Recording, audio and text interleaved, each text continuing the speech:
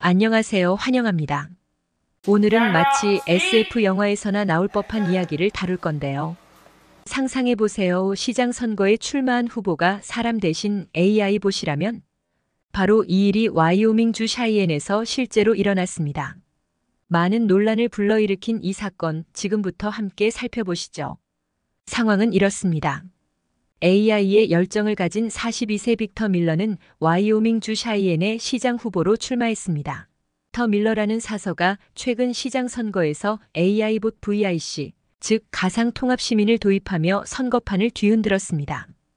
AI는 실수하지 않을 것이라며 밀러는 자신이 당선된다면 VIC에게 시정 관리를 맡기겠다고 제안했어요.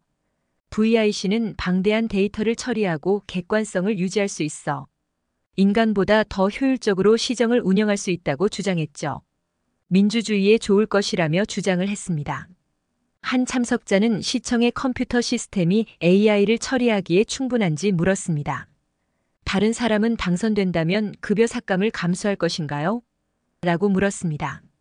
세 번째 사람이 AI 보색에 물었습니다.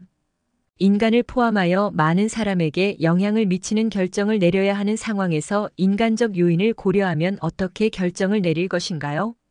많은 사람에게 영향을 미치는 결정을 내리려면 데이터 기반 통찰력과 인간의 공감을 신중하게 균형 잡아야 합니다. 라고 말했습니다. VIC는 저는 이렇게 접근할 것입니다.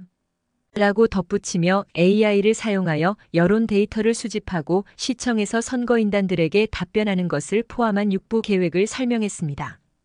하지만 이 아이디어가 모든 사람에게 환영받지는 않았습니다.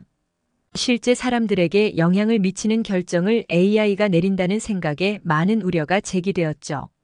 비평가들은 AI가 인간의 감정을 이해하고 공감이 필요한 결정을 내릴 수 있을지에 대해 의문을 제기했습니다. 게다가 법적인 문제도 있었어요. 와이오밍주에서 후보가 되려면 유권자 등록이 필수인데 VIC는 당연히 인간이 아닌 게 문제였습니다. 상황은 오펀 AI가 개입하면서 더욱 복잡해졌습니다.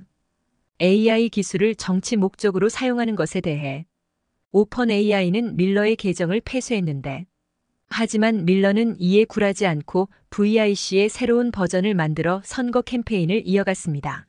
비록 밀러가 선거에서 승리하지는 못했지만 그의 캠페인은 AI가 정치에 도입될 가능성에 대해 많은 논의를 불러일으켰습니다.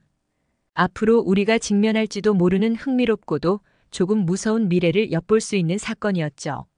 여러분은 어떻게 생각하시나요?